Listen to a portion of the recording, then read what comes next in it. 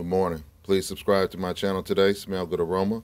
Please visit the website, www.smellgoodaroma.com. Please like and share with a friend.